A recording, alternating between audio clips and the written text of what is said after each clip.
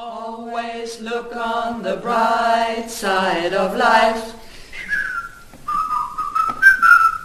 Wir unterstützen die Startkonferenz, weil das ein wichtiger Meilenstein der Kultur auf dem Weg ins Web 2.0 ist. Wir unterstützen die Start-Konferenz, weil man dort die Leute trifft, die momentan vor den gleichen Problemen und Fragen am Schreibtisch sitzen, wie alle, die ins Social Web wollen und die eben für Kultur und Kunst Social Web nutzen möchten. Wir unterstützen die Start Conference, weil es sehr wichtig ist und unglaublich viel Spaß macht.